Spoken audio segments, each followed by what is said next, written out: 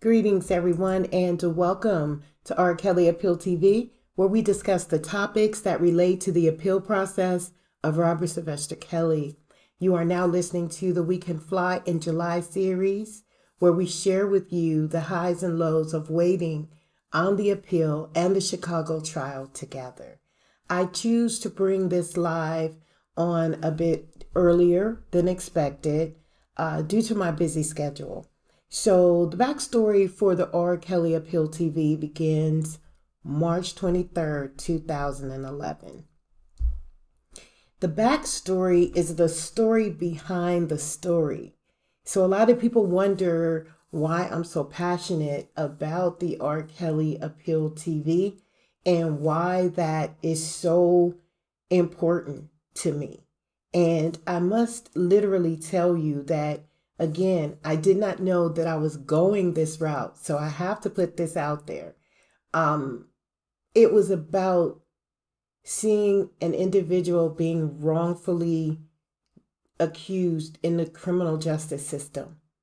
And many of you that have followed me, you know that I'm a criminal justice major, and that's where my passion really comes from. And so, in this passion, I want to share the backstory behind the R. Kelly Appeal TV. So, March 23rd, 2011. Remember that date because that is going to be an important date when I talk about the backstory to the um, connection that I have. Um, so, remember that date. Also, because it's my death date of addiction and my recovery date of healing. For those who understand where I'm coming from, um, I hope you do.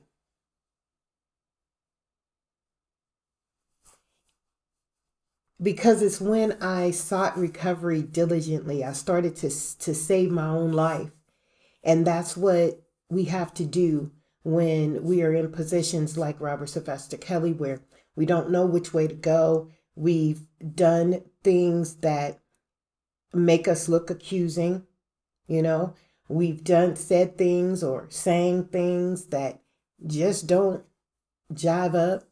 And and so it causes people to judge us unfairly. You know, the, the love of money is the root of all evil. And in that, I noticed, even in my own recovery, that when it's time to grow, we got to leave all that stuff behind. And I believe that's what's happening in the case of Robert Sylvester Kelly today. He is growing into his maturity. And in that growth, what's happening is he's leaving the R. Kelly he once knew behind him. That's the difference when people say, well, he wasn't 55 years old when he did these things, when he did these acts. And of course, we would expect more accountability at 50 than we do at 19 and 20. And that's why we have to make sure that we empower our young men to know the difference between lust and love, you know?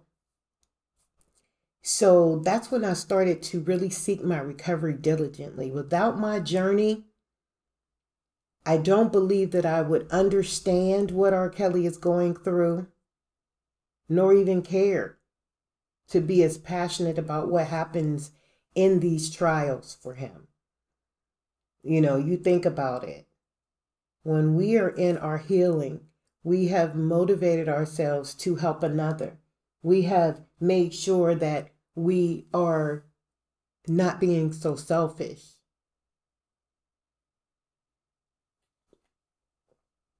Selfishness is a horrific thing. So, as I'm going through my processes, I'm not really busy with watching R. Kelly's life. In 2011, I was trying to save my own, you know. So at this particular time, I was facing like 34 years of my life to a criminal justice system in ways that I couldn't even imagine I was there. It felt like a dream. It felt like it was unreal. I was in many ways like Robert Sylvester Kelly in the sense that I took life by the horns at this time while I was waiting on bond, on bond five years, confused, trying to wake up, you know. And around that time, 2011, there were a, a lot of communication about removing the concepts of what we once knew and trying to make sense of it all because things had changed. So there was this consciousness that was surrounding the world around 2011. And I was real confused. I'm like, wow, you know what I mean? I woke up to so much that I had to clean up and fix up and make up, you know. Um, so I took life by the horns and rode the chaotic waves and excelled to my highest potential during this time. Graduated from college. Yes. Got a divorce. Yes. Started a business. Yes. Got custody of grandchildren. Yes. Um, started a self help um, uh, publishing company. Yes. While awaiting bond. I was doing everything I needed to do but yet I was also helping myself because I was entering into this world known as um, the rooms of recovery, Alcoholics Anonymous, Narcotics Anonymous, um, and all the other anonymouses. It's so many, right? Mm-hmm. Mm-hmm. So I started to heal and help myself while waiting on my fate because I'm like, okay, if I'm gonna take it to trial, get 34 years. That's a lot. I'm done. That's life. You know, at the age I was, I think I was like 35, 36. I can't even remember when the journey started, but I know it was in 2011, March 23rd. So while waiting bond, knowing the worst case scenario could possibly come, I realized at that point that freedom is never free. It's a costly, expensive piece of equipment that we carry on the planet. And I began to realize my greatest strength, as Whitney Houston would say. So by 2013, I'm still awaiting bond, halfway into it, not even knowing it futuristically. I didn't know it until it was past done. So I was even unsure of what had even happened to me. But during this time, my higher power tested me and gave me a mentor. And this mentor helped me to reveal the strength that I had to even help someone else. So, this counseling was so severe, it was so important. And then, lo and behold, I found that I became a mentor to a young man who was in and out of prison. uh, I never met this person before. Um, they found me on a website and they consulted with my company and I started to life coach him. And I was thinking to myself, am I even qualified to do this? Yes, I had an LLC. Yes, I had a degree. Yes, I had the international um, ability to do um, um, coaching and leadership and and all that. Yes, I had the business license, but was I equipped? Going through what I was going through, was I equipped enough to say, I'm ready for this? I'm ready. So I had done a lot of physical work on myself. I got into nature. I began to meditate. I began to check in my own self into rehabilitation because I thought at this point something had snapped in my mind and I was crazy, but it wasn't that. It was a lacing. It was, um, um, that's what the streets call it. It was an inducement of what I would normally not take. However, it, I ingested something foreign into my body that totally made me the Incredible Hulk. That's what you know, the court um, paper states in my situation. And and um, I began to go through counseling and rehab, and I began to heal myself through my own recovery from this thing that I didn't even realize was going on. This emotional trauma, the alcohol addiction, being in the closet, trapped in the closet with alcohol addictions and coming coming out, putting on the stilettos, putting on the business suit, wearing the fake hair, putting on the fake contacts, wearing the fake nails, getting the pedicures, the manicures, the trips, and all that good stuff. And life stress was still happening for me. My drug of choice was anger. mm. My drug of choice was anger because I had lost my mother, I had lost my stepfather, I had lost my grandmother's grandmother, the pillar to my life had all been wiped away when this awakening took place. So, yeah, I was angry. I was angry at the world. And so I had to learn to heal a different way. Excuse me. I'm still learning to this very day how to heal. So I understand what Robert Sylvester Kelly is going through right now. He's feeling the the aggression, he's feeling the um the trauma behind the awakening. He was awakening and so now he feels it. So so I want to take you down memory lane with me on a journey when I had really decided to walk out into life again after being traumatized at my weakest moment and taken advantage of. So trust and know I know what it feels like to be traumatized, victimized, and taken advantage of. However, I never believed that, you know, I had a right to charge someone else for the victimization that I created within myself. How many know what I'm talking about today? You know, traumatization is the terminology by who we consider our closest, intimate people, our best friends, our husbands, our wives, our children, that turns around and manipulates, destroys, impacts in a negative way where our lives should be headed.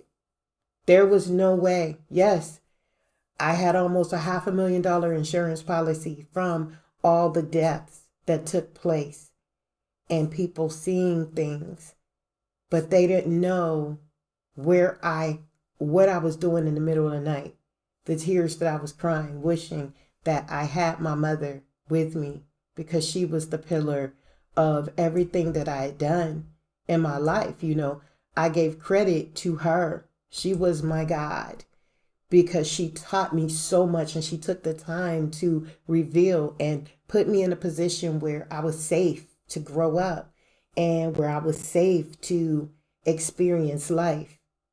And then she allowed me to make my mistakes. And she, you know, for those who understand the concept of being a Scorpio, a Scorpio and a Sagittarius. Wow. You know, we had a lot of clash, but yet we had a lot of, of, of intimate conversations and, and strengthening and endurance. You know, she was trying to build me like I was an athletic runner or field person. You know, so so I just want you to know that that's what's really happening here in this this situation. So I'm going to read a letter that was sent to me that truly tested my addiction. Okay? It's going to seem as though I'm talking to the gentleman that I'm responding to in a letter. But in the end, you're going to hear how this letter was truly being spoken from a higher source within me to help me manifest my own journey into recovery while still being fresh in. You know, most people say when you leave prison or leave jail, you fresh out. But when you go into recovery, you're fresh in.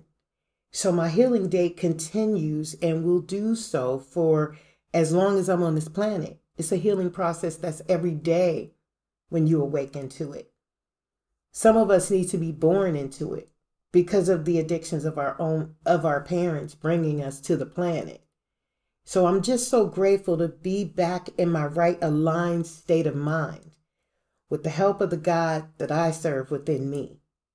So I'm going to read this letter to you, and hopefully you'll be able to understand where I'm coming from.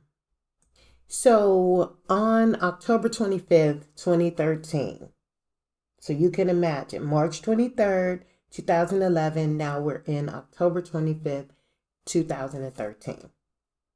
I received a letter from a person who wants to be mentored. Okay, so I'm going to read it. Dear Miss Wisdom, I will call myself Wisdom. My name is, we'll call him, let me see here. So we're going to call this guy David. Okay. And there was a lot of Davids around me at this time.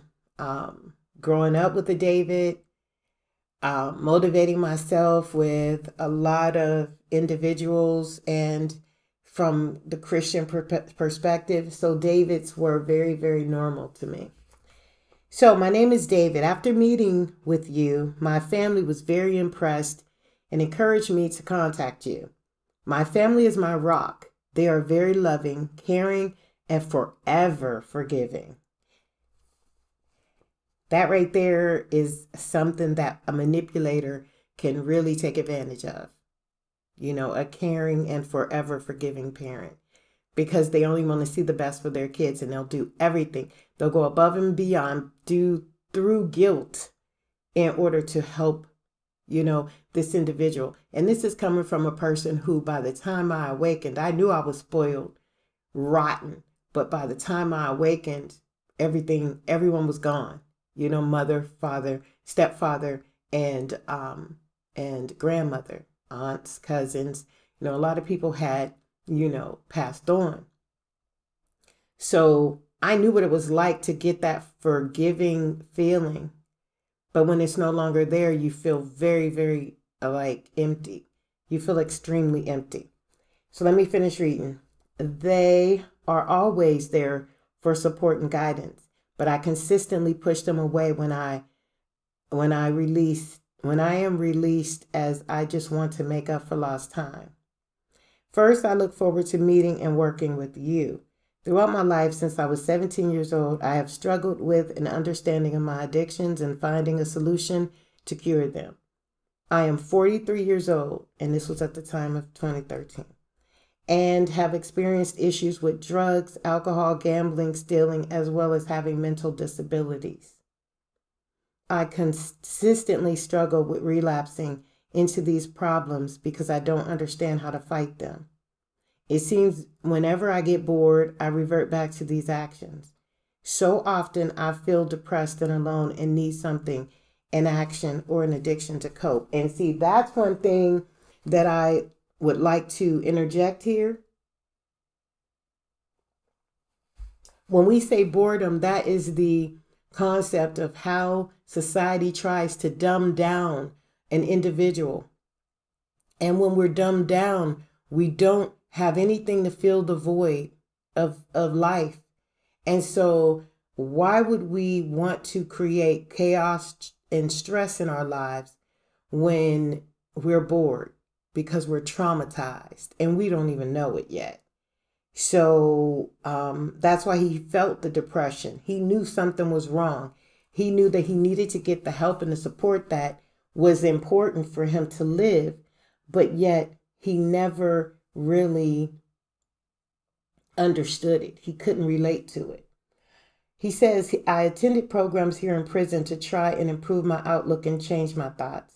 While I was home, I attended NAAA, Gamblers Anonymous, and various self help programs in a halfway house. However, upon release, I went right back to my addictions. I know my self esteem is very low. I don't believe in myself and what I can accomplish. Sometimes, when I'm working on a task, I am focused to do the best I can, but I consistently second guess myself and give up. And I want to be secure without the drugs and alcohol. I've never been prescribed any medication. I love to golf and landscape, but sometimes these passions prevent me from surrounding myself with a strong support group. I know my family would be a, a constant positive support as they have been so many times. Yeah, he knows the way. He knows the way, definitely. And uh, not believing in himself was the very reason why, at this point, two years into my recovery, I knew the way before then. I fell off in 2011 and I was so unsure of all the knowledge that I had, all the education, all the good jobs, all the traveling, all the investments in what I had put forth in my life. One day took all that confidence away. It literally did. And so I get it. I understand what he means when he says that, you know, he, he had tried so much and his esteem was very low. He didn't believe in himself and what he could accomplish. Um, I know my family would be a constant positive support as they have been so many times. I attended halfway houses. These were reintegrated into society, into society through programs, employment, and eventually was referred to treatment centers.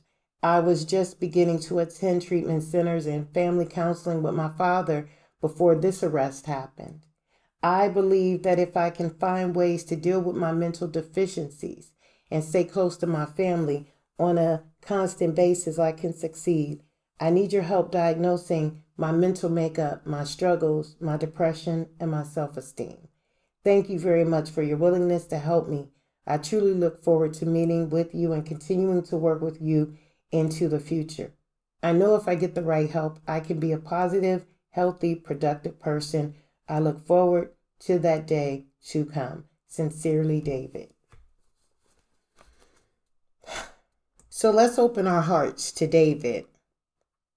And I would like to hear how you would respond to him a person who has a loving family, which most addicts do because they try to fit in to all this greatness that's surrounding them.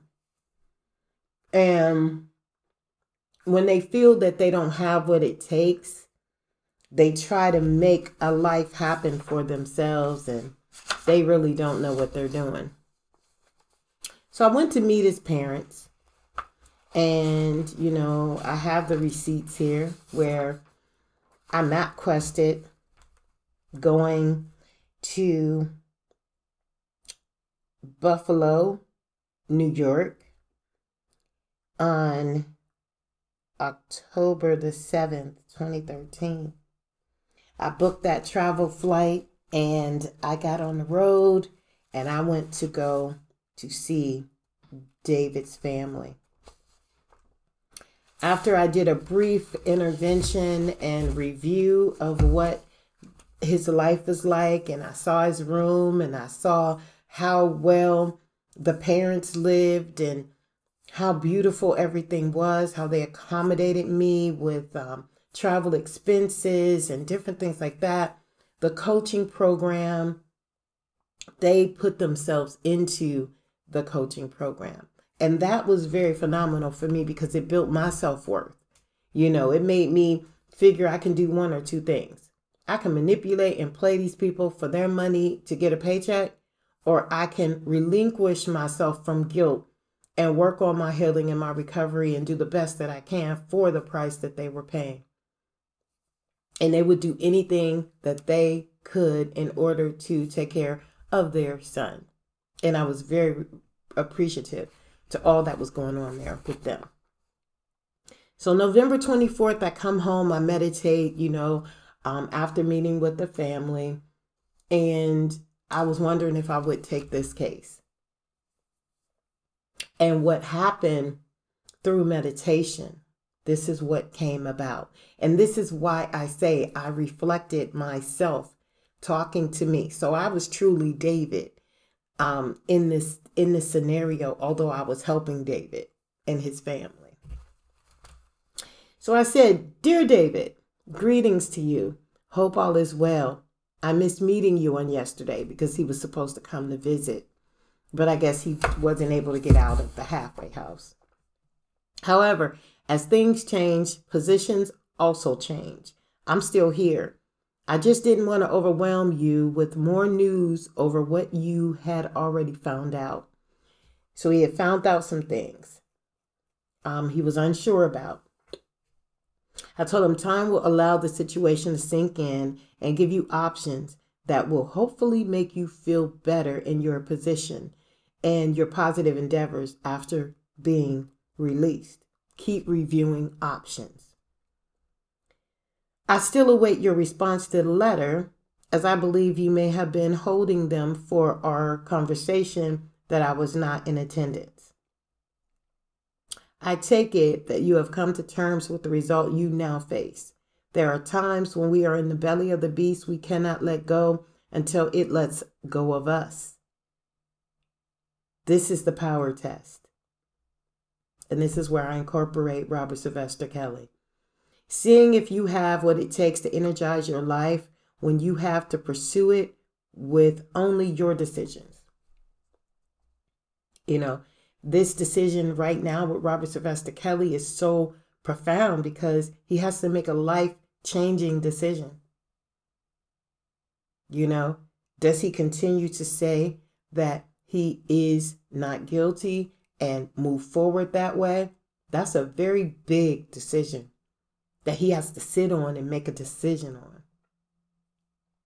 But back to David. Life makes us see all that we did wrong when we were ready to review the personal show, the show that we create for our own selves, our backdrop story. Only you are aware of the hidden things that others begin to know about you as they grow to know you. There are two ways that I would like you to look at this situation. Number one, if you truly have a problem with mental programming, mind choices that prevents you from making positive or right decisions, that can be worked on. It may take some time, but it's workable. Number two, if you had bowed out to the fact that you are a loser in life and that you are true a true product of defeat, now, that option is all, almost basically impossible to work with. I will tell you, however, right now, we need not meet if you are a person who believes in option two. Everything comes from within you. No program, no medication, no outside situation will balance anything. It starts with you first. Then the manifestations of other things will keep things in check. Hopefully, this letter finds you with nothing to complain about. If not, I hope the energy from this letter will be a soothing comfort your way. Until we meet again, Hotep. Hotep is a a greeting, an Egyptian greeting and and conclusion of, you know, a positive attribute, a universal positive attribute. And so with Robert Sylvester Kelly, we're going to go back to him. The reason why I feel so connected was because if you think of the partying and you think of the the um, trapped in the mental mindset, you are going to definitely see alcohol, drugs, fast life, the Sodom and Gomorrah, you know, concept that's in the Bible, the biblical premise, and and so all of that is going to come to the forefront for you to show you, to show us. It showed me in my own recovery that, you know, yeah, you can look good as good as you want to look. You can smell as fine as you want to smell. You can drive the fanciest vehicle. You can have the greatest education. You can have the biggest bank account a, a single person can have and floss and, and, and, and, and fleek with the ego and flow with the, you know, uh, um, the best of them. Because what's happening is you are maneuvering your life through the concept of social engagement. And in those social engaging times, you have individuals who are watching you that you don't even see, that have jealousy, envy, hate, and all of that chaos surrounding them towards you. And then we wonder, why did this happen? to me. I was so on the game. You know, addiction is supposed to happen to people with no money who lacks, you know, the ability to even do anything, who with no education. You know, this is what we're taught. But that's not true because when you go into the rooms of recovery, addiction is knowing that number one, you are hopeless, you are helpless at a point in time. Now, one thing I feel about the 12 steps of recovery is they needed to be upgraded. And so in my master's level, I upgraded my alternative recovery solutions. And I said, okay, I'm only hopeless for a certain amount of time because, again, when you feel hopeless, you have no hope. So, that option number two, if we bow out to the fact that we are a loser in life and that there is that we are a true product of defeat, that makes it impossible to work with going further. And I believe that that's where the um, Alcoholics Anonymous go a little bit too far because to keep someone in that position will cause them to feel worthless. No, you want to empower. You want to self in in in you want to self connect so that you can grow out of this. Someone asked a question about Robert Sylvester Kelly. Do we think that he has the mental capabilities of go, going through another trial and being found guilty? If he knows he hasn't done anything, absolutely, he has the ability to stand strong no matter if 50 people come up against him. Mm-hmm. He has the power to do this.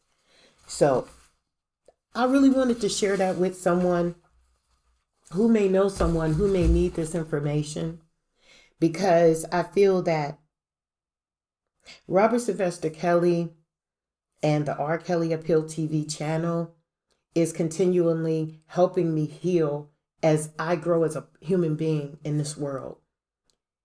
His his story is empowering me to stay in recovery.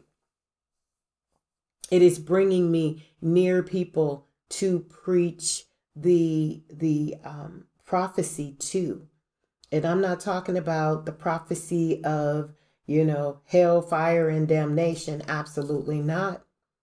I'm talking to learn self, grow within self, do more for self, to have connection with self so you can do more, be more, have more, own more, you know, um, create more, create, create, create. And that is the empowerment that I choose to make for my creative content on R. Kelly Appeal TV. To me, if I reach those who are the most valued in the world, and that is the individual who needs to change the addictive mindset into something of a recovery based perspective and not just the facts of the case. See, this is the backstory, the original backstory to who created the R. Kelly Appeal TV and how the R. Kelly Appeal TV channel becomes so passionate to where people are interested in what I'm saying and it makes logical sense with the way that I create on this channel. And as a business developer, one thing I like to do is help empower people to know that they have their greatness sitting right on their throne. They're sitting on it. And I'm not talking about in a sexual manner. I'm not talking about sex. I'm talking about you're sitting on the power that your mind can produce for your physical body to go out and create. And I sit back and I look at, you know, I'm a, a, a landlord. And so I have a, a lot of people who have applied for renter's moratorium and, you know, during the pandemic and their rent was free. And I was sitting back wondering why are they putting money into a free system, giving away, you know, um, checks that people can use for, you know, whatever they want to use for when they could put it into an employment opportunity a a opportunity to apply for which we did have the opportunity to also apply for uh business development and you know money to start your own business. And then those people didn't really have businesses and they were just playing with the money and now they have bad credit. Now they have you know issues civil lawsuits going on and i mean it's just so much happening so much is happening in the concept of free things. But if we learn to continue to stay in the habit of work ethic, something that they've taken away from us by dumbing us down and making us feel as though, oh, free is the best way. I can get this unemployment. I ain't even got to work. Now, all of a sudden, the moratorium is over and people are expecting me to, you know, um, bend the rules, to you know, give them a few more more weeks to get this together and that together, but bills are due as a landlord. Bills are due. So at that point, where do we hold people accountable? And, you know, how far do we go to say that you are responsible for the way you chose to do what you do? Why weren't you saving? Why weren't you investing? Why weren't you working? because I worked through the entire pandemic because that's what I need to do in order to feel as though I'm working on my recovery. We have to get up and get moving and get active and get creative so that we can create something for the world and for ourselves. And you know, I I really and truly feel for the R. Kelly um, case. I feel for the Chicago trial. I feel for the individuals who have to, you know, face the music to what these women have done.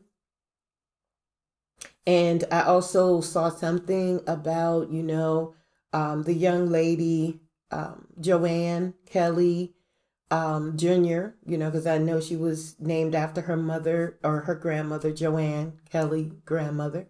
But Joanne Kelly Jr. Uh, literally needs money to go to college. I've seen a, a, a headline about that. Yes, her mother is worth X amount of dollars, but is that money in investments? Is that money in other people's pockets that she has to pay back for being who she was and how she showed and proved herself during the whole docu-series perspective because that's when I heard of her. I didn't hear of an Andrea Kelly before that time. So again, you know, all this stuff is very pertinent. It's very positive. It's very, you know, productive when you look at life from a healing perspective, a recovery based perspective. But when you're in your addiction and trust and believe, when you have to lie and manipulate and bamboozle and treat people, um, give them what they want to hear, you're actively in addiction. I don't care if you don't touch a drug or not. If you're just fueled off of stress and anxiety and trauma and chaos, that is addiction. It's emotional addiction. And that's where we need to learn as a community how to build from that to heal from that. And that's what R. Kelly is going to have to do. So I know that when I was incarcerated, I started a a um, a lifers business course where you know Ashland University came into the correctional institution and they started to help the lifers get a business associate's degree. And I was the first one. I was so happy that the warden allowed this. I was the first, um, I was the first um, tutor class to help them get through it. And to get through it is not about the educational part about about it. It wasn't the educational piece. It was the motivational piece that came with you may get exonerated tomorrow. You never know. So you better have something to fall back on because in your life, you are not going to be able to go out and get a regular job.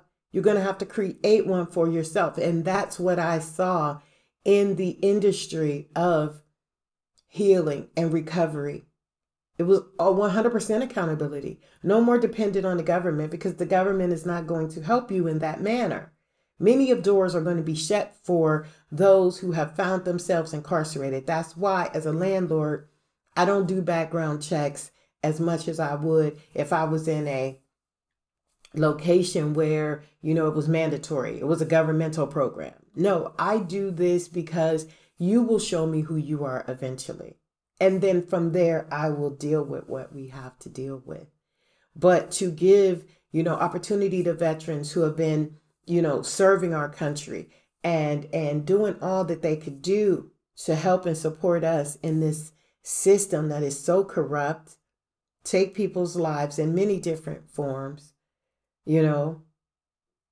Tell us how to behave, tell us how to live, tell us what to buy, tell us what to eat, tell us, you know, what we can do with our bodies. Amazing. Amazing. So that's what I want to talk about. So next time we meet in the backstory of the R. Kelly Appeal TV, this is not about the appeal, but it is on the appeal channel. It is on the We Can Fly in July series because that's what we're doing. We are hitting our highs and lows and our pinnacles and our successes as we watch the R. Kelly appeal challenge itself through motions, through, you know, um, what, you know, people are saying, even all the way down to Steven Greenberg coming back, you know, as another energy source that did R. Kelly wrong at another point in time in the past. You know, do we do we worry about that? Do we pay any attention to that. You have people who are who were there during the time and now all of a sudden Steven Greenberg is back. And that is something that should we even feel some some way about you know should we feel some way about this because there was a lot that went undiagnosed and and uncharged on his behalf as well. Because certain things that Attorney Bonjean has done in the limited amount of time that she's been in existence with the Robert Sylvester Kelly case from the federal trial, things that happened before that was just criminally criminal justice inhumane took place under the the nurturance and guidance and and loyalty of someone who was not loyal. Someone who was not loyal. And when the money left the the you know membership things started happening. And r. Kelly is not crazy. See r. Kelly knew what was going on. You know um he feels he knows he's alive he's human and he understands what is taking place in his own case because i know i did. Even um, being laced and having a mental breakdown to the point where i did not know my name for 41 days sitting in a county jail cell. Well maybe not 41 days but a few of those days not being able to even comprehend of where if I were in if I was in an insane asylum or if I was incarcerated in a jail or did I really hurt someone to the point of you know the death penalty the fight what happened you know? I mean the way that the documentation looks on paper is horrific. But according to some who saw what took place. Some people said that it was nothing more than a, a playground elementary school fight. But when you have your whole life ahead of you, when you're trying to start a business that helps small businesses get up and running, of course, you're going to have those people who say, No, I'd rather you be an employee and file a W 9 or W. I'd rather you file a W 2 than a W 9. I'd rather you file, you know, um, under the auspice of this organization or that company than to have your own. Because then when you have your own, you can make as much money as you like. It's all in how you put your creative content together. So I want to to to let you know that the power is within you. The power is within you, beloved, the one that's listening to this right now. You own the rights to your world. And as you get up every day and create and wonder how people do this or how people do that, and you get inquisitive, that means you're ready to step out and expand the horizon of the success that comes with who you are. But then you have a system that has a glass ceiling that that puts us down before we even hit the glass ceiling. Some of us got to hit the glass ceiling. And when we hit the glass ceiling and we go beyond and above what we are supposed to do because of, of the idea of passion, that's when the glass ceiling breaks and we get all cut up. You know, some of us, you know, feel like, oh my God, it's the end of the world. But then some of us feel like, okay, let me brush some of this debris off of me. I understand I got a few bruises. I got a few things going on. You know what I'm saying? Um, but I can still maintain. I can still keep moving. So that glass ceiling did nothing but expand the horizons that grew and forced us to come out of our comfort zone. And when and then when we do that, we realize that there is no real uh, uh, existence of someone controlling something. No, we were the controllers ourselves. That's why when I go back into the storyline or the backstory to this letter right here, that letter was not to David. That letter was to me to empower me to keep going from where I remembered myself starting. 2011, you figure 2013, two years, if that, still fresh in recovery. But I'm learning more. I'm realizing through stories of other people who just couldn't get it right, even this man. In and out, in and out, in and out. Okay? That's not what I'm going to do. If I'm going to be in and out, it's on a whole case like R. Kelly. It's a one time thing. So he's been in and out and in and out, and he has a big story of his life. If you go and look at the docket and you print a, a copies from everything from 2008 till now, it is the same exact case. They may have different numbers. It may have a little bit of, of addendum to it, a, an addition or an attachment or something else. It may even have a different uh, uh, uh, um, uh, number, a state number to a federal number, but it's still the same situation. And that's exactly what my case is the same situation. Going through court at one point, 2011, serving 41 days coming home. Bond and continuances, five years. Sentencing um, on the sixth year, serving three years, and then um, in the same case, you have the timeline of probation and parole, five years, but got out early on both of those. So the thing I'm saying is that you never know how long the situation is, and it looks like, oh, he's always in trouble. She's always in trouble. It's not that. It's the fact that we have been pushed through this system and sent here, sent there, told to go get counseling, even motions. Motions show movement. That's why it's called motion. It shows legal movement in what is happening in the case.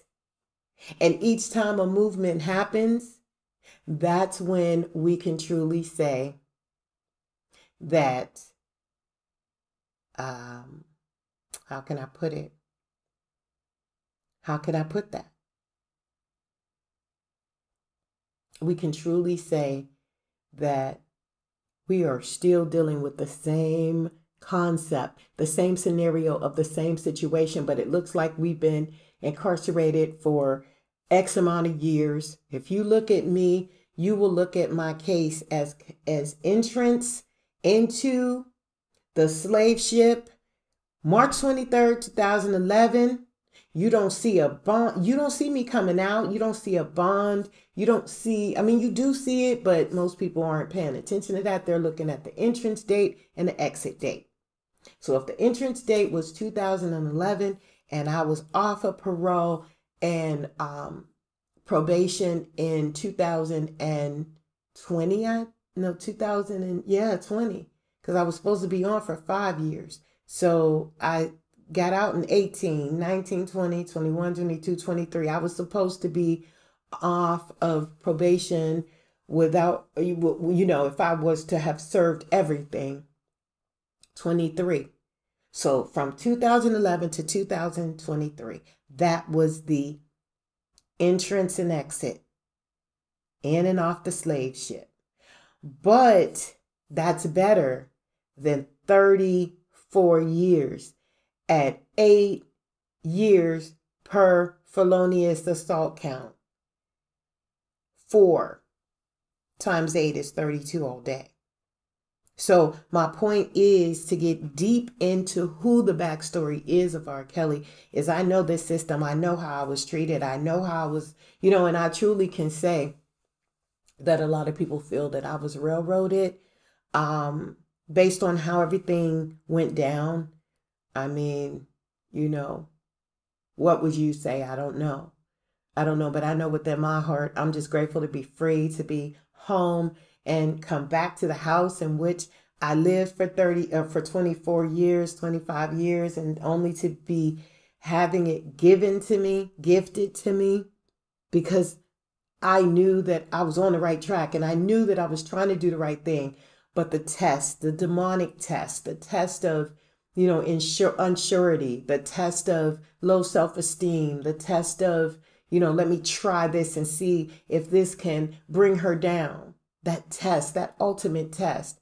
I failed it, but in failing it, I built myself again. And this is where Robert Sylvester Kelly and I come to connection because it's about the building. It's about the growing from what we know and moving forward and leaving all that past behind. So the old me, which was incarcerated, is now the new me. Wisdom.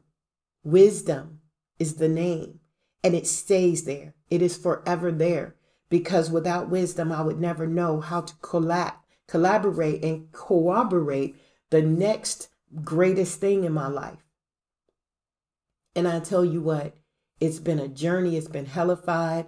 I lost family members while I was incarcerated. My uncle, I lost him. Um, when I come home, I lose my son, never being able to say goodbye to him.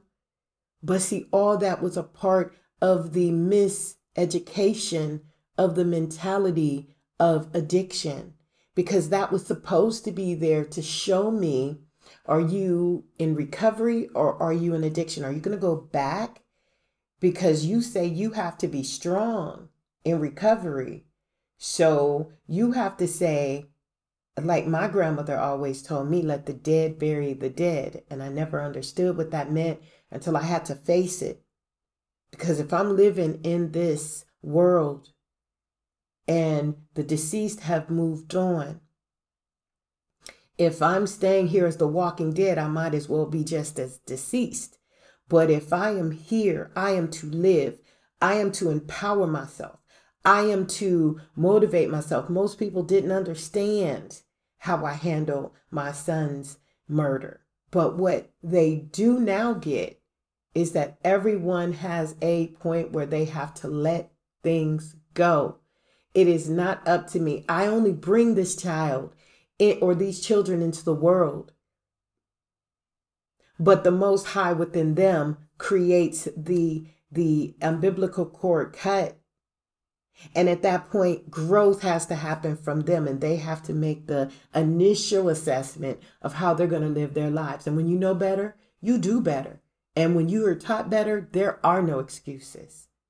There are no guilts that parents should hold because of the fact that this happened or that happened. No, hold no guilt, Hold no remorse. Do what you need to do today so that you will have a guilt free conscience when things fall apart.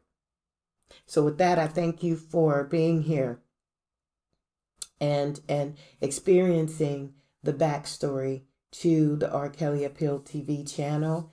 And um, please feel free, you know, if you need to inbox me um, on a personal level to talk about some of the things in which we spoke about. I do have life coaching consultation services that are very, very, you know, um, inexpensive. I do meet and greets. I come out, we can chill and, you know, in your community, and you can show me things that you've experienced and talk to me about how to publish and and and connect to start to begin to write your life story. I can help you do that. Um, and if it is personal and private, please email me at scales to success llc at gmail.com. And that is in the about section and some other information of how to contact me. So I thank you. Please let's say a prayer for Mr. Robert Sylvester Kelly and his situation um, coming up August the 15th um, his pre-trial, and you know, I, I, I just, I just pray that everything goes in his favor. You know, um, and I'm not going to give up on him. I'm going to constantly connect life to, you know, the R. Kelly case because R. Kelly was tr- is truly a genius, and we need more geniuses you know, to come forth to the forefront and not be afraid and speak their truth and learn how to empower others.